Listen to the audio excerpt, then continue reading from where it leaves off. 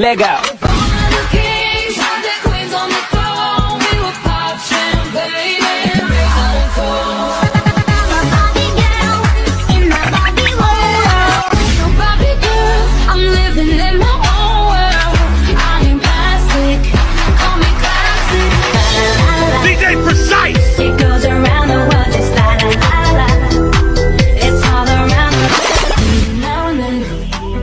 think about me now and who I could have been